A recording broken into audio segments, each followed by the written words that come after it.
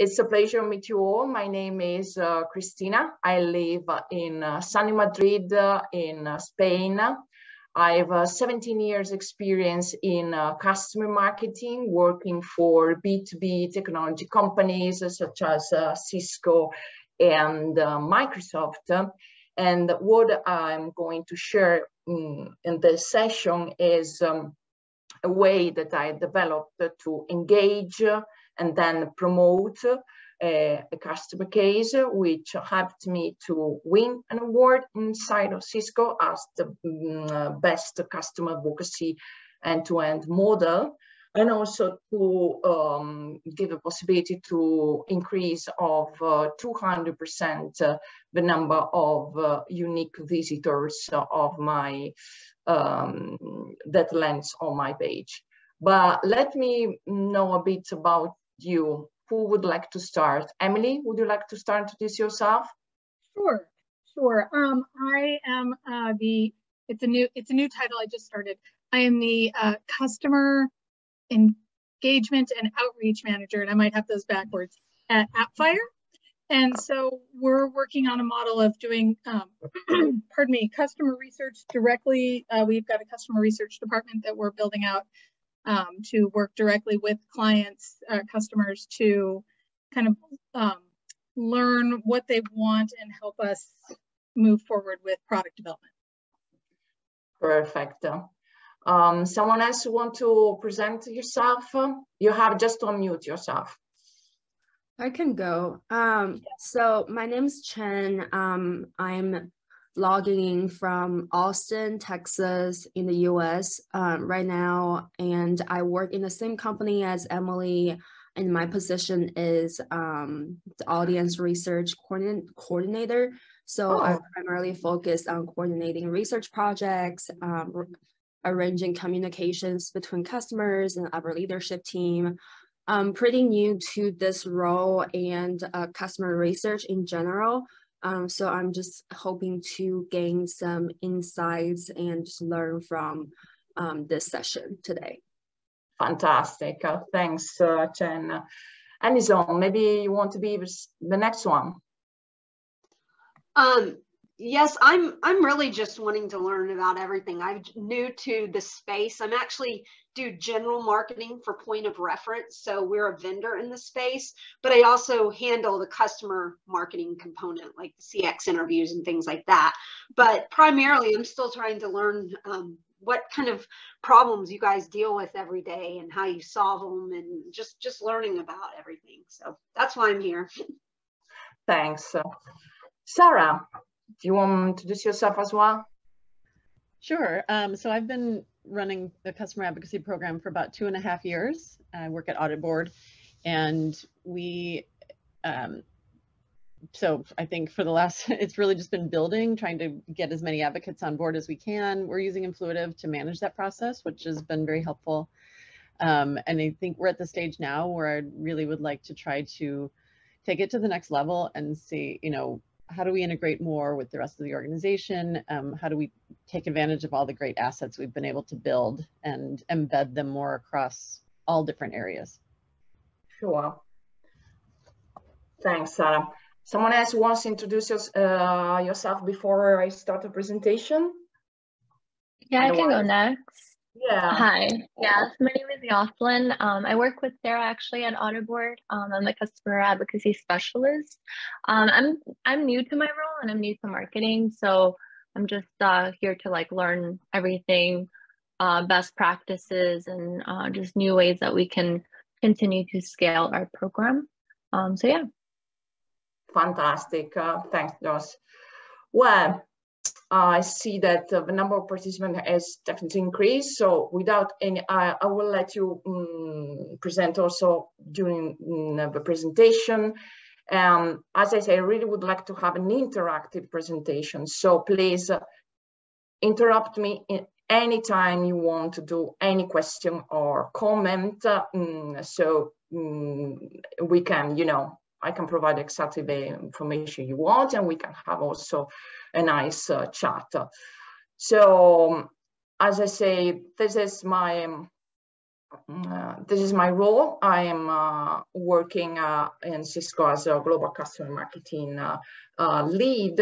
And mm, the, um, the reason why we, the reason why I'm why we're here is exactly this. I want to show you this model, this way of engage a customer and then structure uh, um, a case study, which had me to increase of 200% the number of unique visitors that lands in the page that I create, convert the customer that is the hero of the story into a champion, and uh, uh, reach new customer executives and influencer while um, I was doing this, uh, the activity correlated to this uh, mm, plan.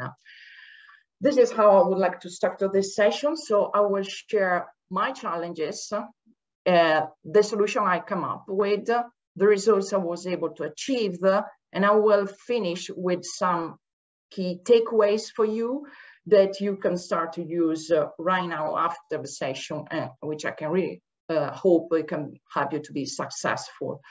So let's start with challenges.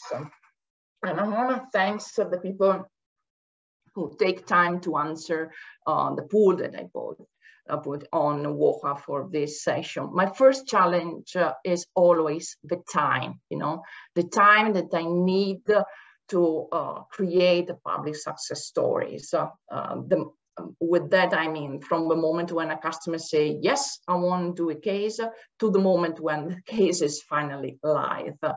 And here I see that uh, um, the majority uh, takes no more than three months, or well, like you, because in my case, uh, usually take uh, minimum four months. And let me explain you why.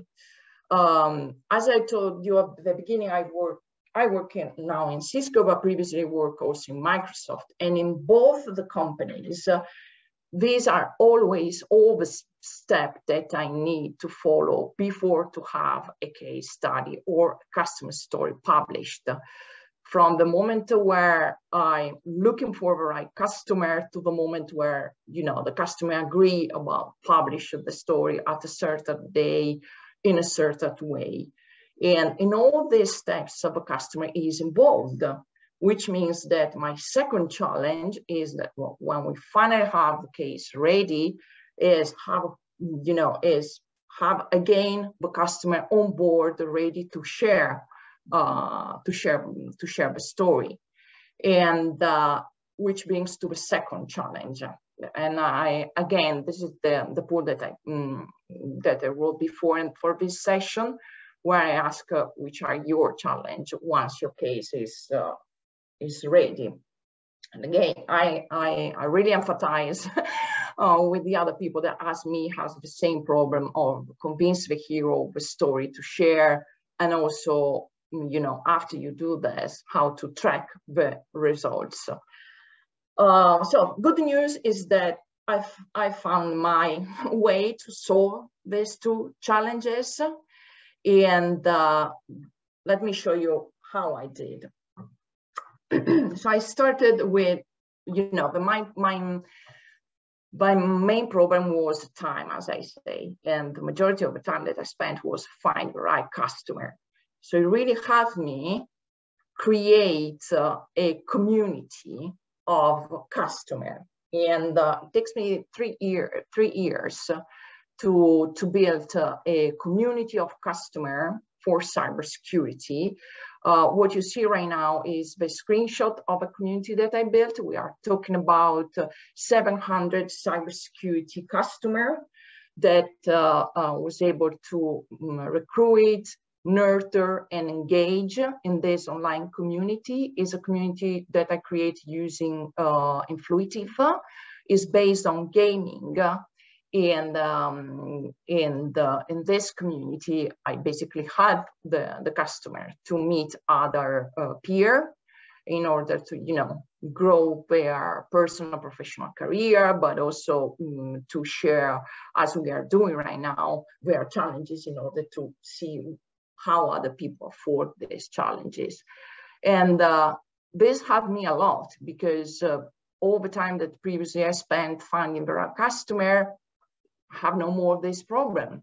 Thanks to this community, they are the customer who candidate themselves uh, to do something with us from reference uh, to case study to simple an article.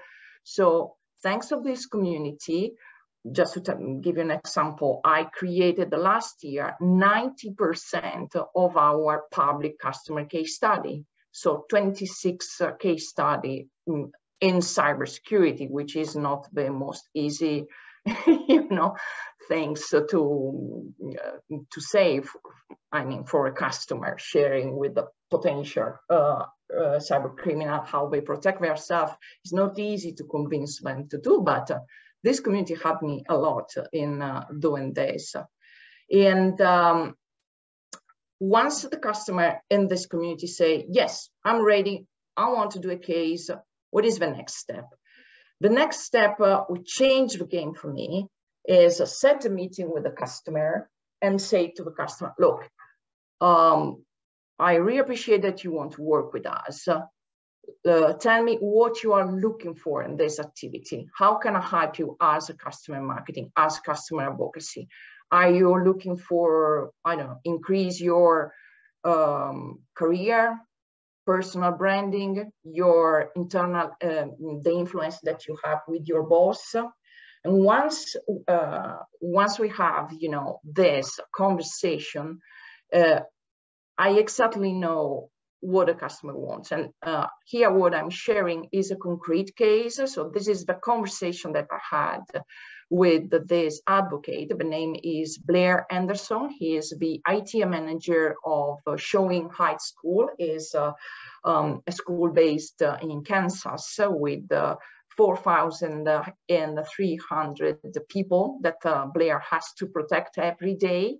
So I had this conversation with Blair after that he candidated for a case study. And Blair told me, look, Cristina, I'm, I like to teach. I like to share. I just want to be visible on that. And I say to Blair, I will do my best to help you be visible and be perceived externally as a real security leader. And, uh, and the next step was uh, creating two videos about how Blair, you know, was able to uh, protect the school and uh, he was able to provide great value. But the video and the entire story was focused on the person. So it was not the classical product video case uh, where there is someone who can be whoever talking about your company. No, it was really a video where I try to, um, I, I, let the customer be at the center of the video. And uh, um, uh, let me see if I can share with you, for example, just the, the, the mm, one of the two video, uh, so you can have a, you know, a better test about what I'm, I'm talking about. Uh, yeah, so this is uh, the first video that I've um, create. The challenge of protecting my school district from outside threats and keeping my 4,300 staff and students secure from any network is what I enjoy most about cybersecurity. I never imagined myself as a security hero in the Gateway community, but with my passion for security, music, and teaching, it makes sense. All of those things require you to be thinking ahead of what's going to be coming up next? What's going to be taking place in two weeks? With music, you, you're planning for a concert, that, that ultimate test. Same way in education, how do they teach the students to be successful in life? All that has led over to technology because we have to be planning for the future. The trumpet has pushed me to work with different team members, especially when you're in a band. It's not about you, it's, it's a team atmosphere. For an education district, you've got a lot of kids, you've got a lot of staff, uh, teachers, instructional coaches, literacy tutors. All of those play a role into the security. But I've taken that on as a, a challenge because I just love teaching others even though I'm not in the classroom, I still get to teach staff, I get to teach students, and I get to teach my own staff. If I, if I know something, um, I want to share that with them. I want to see them be successful. That's the best feeling that, to have is when you see somebody else be successful in life. My name is Blair Anderson, and I am the Director of Information Technology at Shawnee Heights School District and a Cisco Gateway Cybersecurity Ambassador.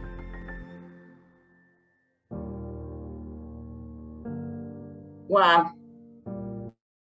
Okay. Hope you hope you enjoy hope you enjoy uh, the video and you have a sense of what I mean with when I say that uh, I really left the customer the the center of the story.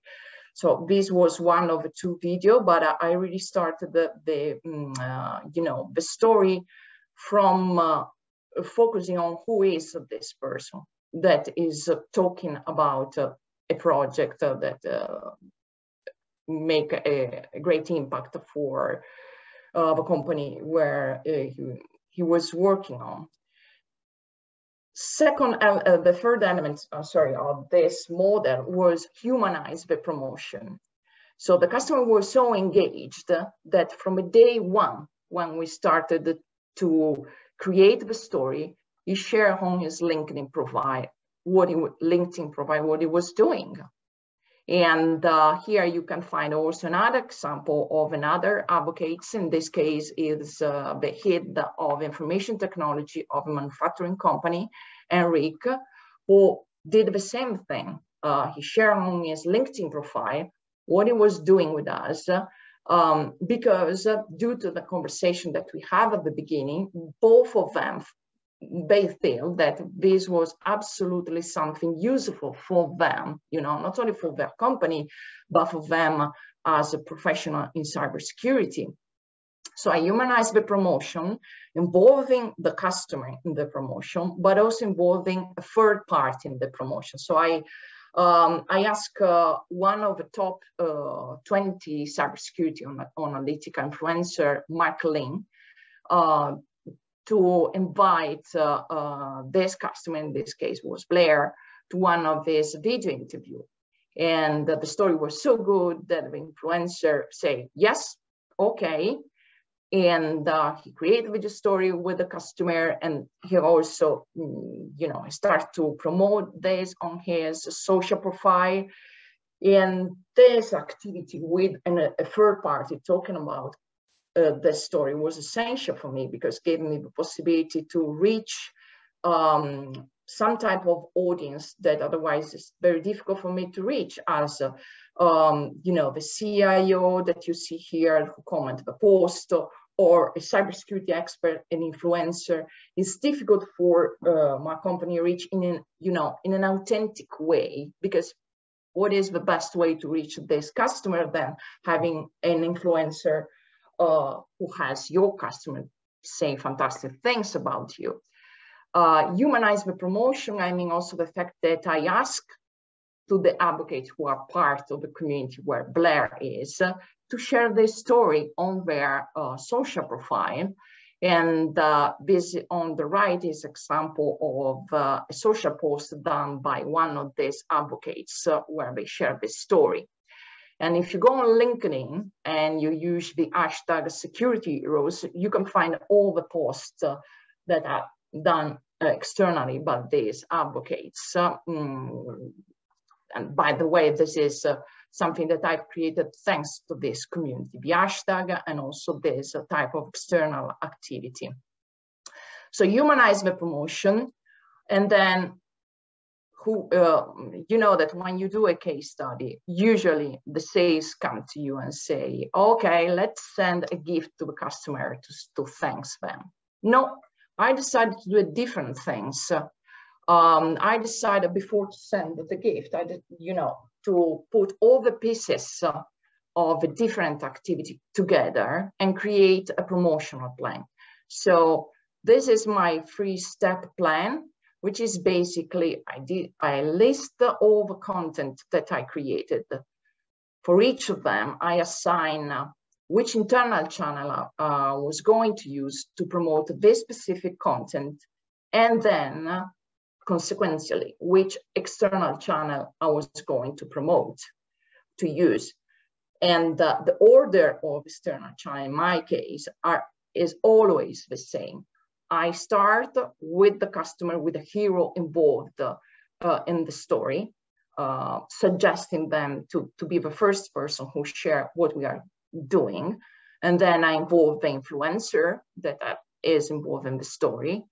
And then the advocates are part of our community. They are always the first um, people who know about what Cisco is doing uh, in cybersecurity. Cisco is a company who sells through partner. So after I advise the partner and then the rest of the world. This is the, you know, the, the way that I structure the overall promotional plan um, and it really helped me to save time, my time, and also uh, customer time, because uh, for everything uh, that I create, there is some, there is always a way to promote externally. And then, as I say, regarding the reward, instead send the gift to the customer, I provide as a surprise an experience. And in my case, the experience was uh, invite the customer uh, who received this box in a VIP community uh, inside Cisco Insider, a community reserved to 30 people around the world, uh, which are our advocates. And in this community, um, he can have uh, uh, some special benefits. And I didn't wake up a day deciding that these were benefit. I decided this benefit because I saw that in the community, this is exactly what our cybersecurity customers are looking for. They are looking for discount in exams to be, you know, to become better professional. Uh, they want to um, be promoted externally, and this is exactly what they can find in this community. So uh, in our case, Blair received the box. In the box, there is a QR code. Clicking of the QR code, he, and he can join this community. And you can see here, once they join the community, what they can say. For example, here, all the congratulations that are posted in the community by the other uh, ambassadors that are part of the community. Um, and uh, as I say, we are also interested in being you know, promoted externally. So this community call it the League of Cybersecurity Heroes. I've also promoted in a dedicated uh, blog uh, in which uh, I uh, go one by one for all the advocacy saying why they are amazing. Okay, you could say, fantastic, Cristina, but what about results? all this effort for what? Okay, so let's take a look about the results that we were able to achieve. I told you before, my um, agreement with Blair was help him to have visibility. And uh, this is exactly what happens. And he obtained such visibility that uh, the week before, one week before we went live with the case, uh, he changed a job and uh, he became a senior system administrator in a very important public sector company in Kansas. And you may think, oh gosh, uh, this is a nightmare for a customer market, you know, your case go live and your customer change job, but not in this case, because due to the fact that he was engaged in the community and in uh, through this model, despite he changed the job, he continued to promote us uh, and promote Cisco on the right uh, side of this presentation, you can see his post after that he's changed the job, which is again, you know, promoting the company. So this is what I mean with convert a customer into a champion. Now, whatever company Blair would go, he will have, let's say, uh, Cisco in his mind and heard as a, a vendor who really make a difference for him. And these are all the results in terms of uh, uh, performance of the page, where the case study with the two videos that I showed before are hosted. Uh, I would love to share the number, but for policy reason, I can't. What I can share is the percentage of, um, um, of the performance. So we have uh, more than 150% uh, view uh, in comparison with the average view of Cisco uh, customer story, more than 200% unique visitors, and this is the statistic that I'm more proud of, more than 300 return visitors, which means that the content was so uh, useful that, you know, people who on the page, they come back to reuse the content. So definitely it was something who bring value to the people. Indeed, the bounce rate, mm, bounce rate means the people who left uh, the page before 10 seconds. In our case, in the case uh, with this page, was only 22%, when usually is 44%. And the average time spent on this page um, was two minutes and uh, 50 seconds, so almost three minutes basically. The people saw the video, they click more. Indeed, we have more than 260% of clicks. And we have more than 200% of total video. And you have to think that what I'm showing you right now are statistic where I didn't measure the Cisco employee. So here you can see all the rest of the world, you know, visitors, our partners. Uh, so it's really the impact that we have uh, on the audience, let's say. Uh, talking about audience, I told you before that I engage uh, an influencer. So let's see how the activity with influencer, um, which are the results.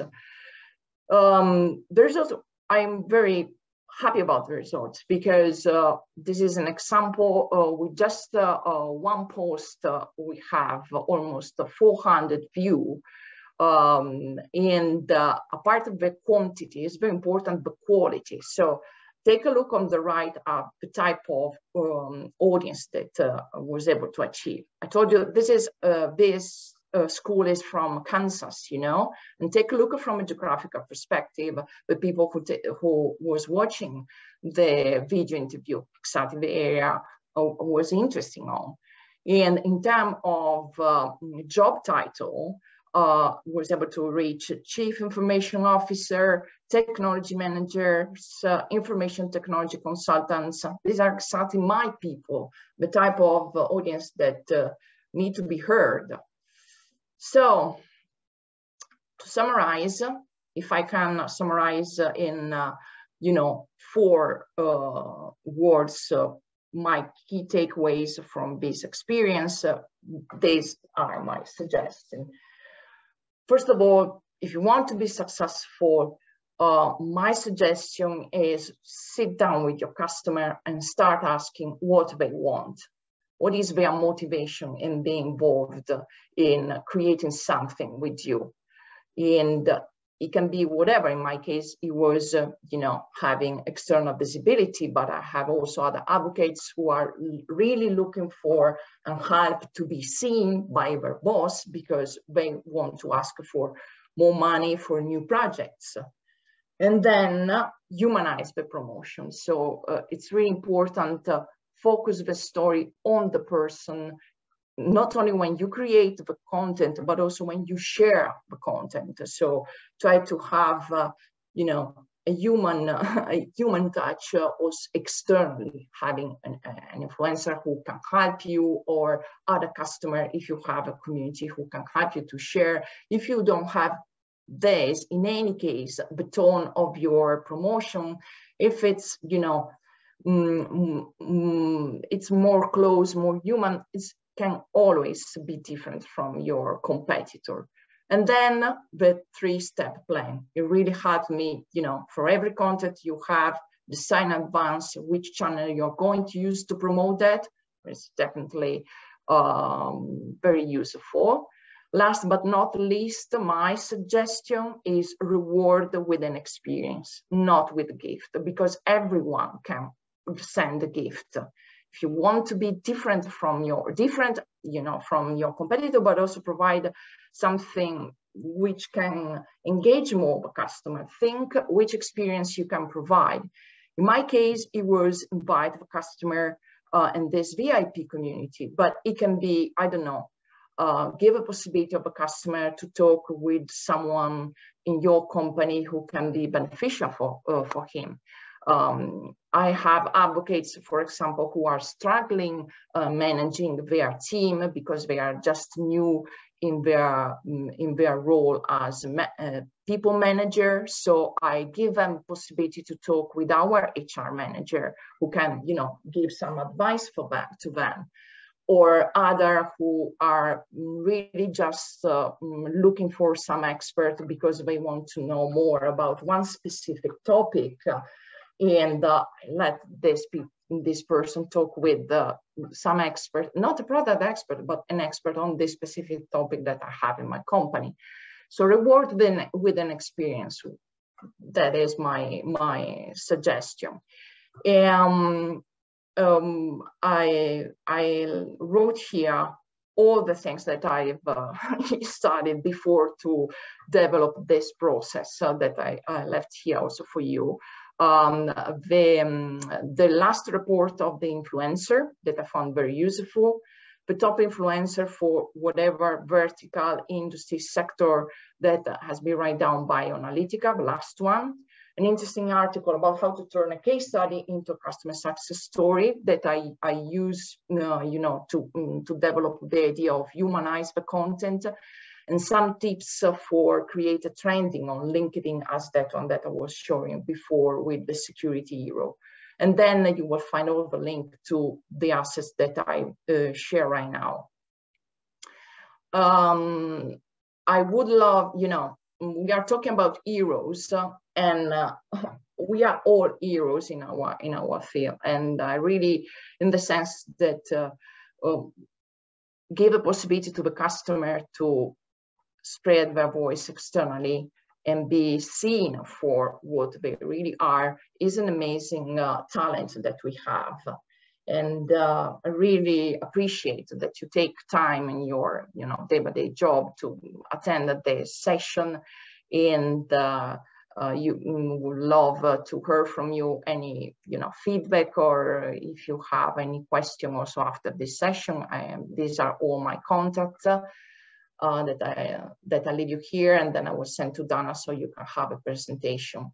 Um, I will stop to share, and uh, so we'll open uh, for all question or that you can have or comment. Um, Chen, was it useful was uh, for your uh, job as audience manager? Yeah, it was definitely insightful. Um, I don't have any additional question um, at this moment though. Okay. And uh, Emily, what about you? No, I have I have a whole like two or three pages of notes here, so that's that's good. um, no, I think I think uh, I'm just gonna have to kind of um, I, you know what would it be okay if I reach out to you on LinkedIn at a later time just because I um I, I need to kind of filter this through my through my brain a little bit, but I bet I will have questions later. So it was really good. Thank you. Absolutely. Thank you. Okay. I have a question, Cristina. This is Sarah. Um, just out of curiosity with you can tell it's high production quality the video that you shared with us um, and obviously you mentioned earlier it takes time to from start to finish. So do you have goals and metrics of how many in one year that you're producing of something like that? Because it's i wouldn't think that you're just churning those out you know like they they take some time. Yeah.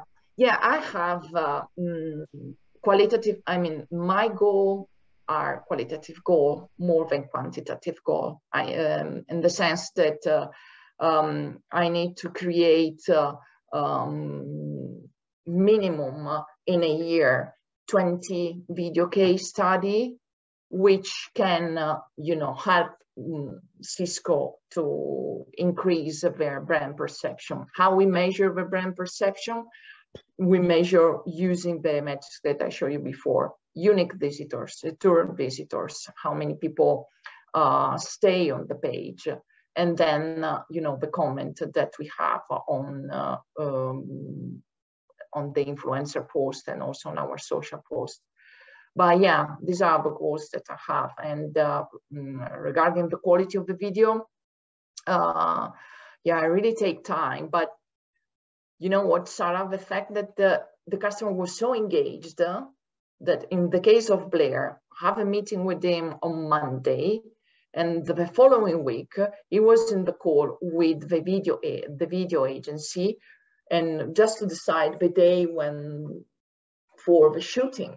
And then uh, they have a shooting, and basically I create everything from in three months, the, the video and so far. So it was, um, yeah, that was the, the results. So. And I, I have a follow-up question to that too, because there are lots of things. Um, so we have in the last couple of years gone very much sort of away from written case studies and focusing more on video. Do you see? Do you think that's a trend? Is it something that you see as well, or do you think they have to go hand in hand? Um, you know, the the video or the written component is really just sort of a, accompanies the video, but it's not an extensive like we used to do. Yeah, I mean, the trend that I see is first capture the attention video. And then uh, in second moment, uh, it's uh, the case, uh, you know, really have a great grip, uh, the written part. But uh, in my case, what I see is that um, nothing pays more than a video to have, you know, mm, someone on board taking a look of your content more than uh, the written case. In the customer journey, the written case uh, really perform well. You know when? When I provide uh, in the um, uh, to the sales when they have uh, um, a meeting with a customer who has already other vendors to decide which is the best one. In that part of a journey, the written case is essential because you go in the details on the product where is needed. But the beginning of the journey to capture the attention of uh, the potential case, the potential customer, the video is what is uh, helping us more. It really depends, you know, my opinion, where you are, what you want to achieve. Thank you. Yeah, a pleasure. Okay, um, well, I, I, first of all was sorry that I started later. Secondly, so happy that we have a possibility to share, in any case, with all of you this uh, uh, this session. And um, I, I, really want to thank you all again to be part of this. Hope you have a fantastic day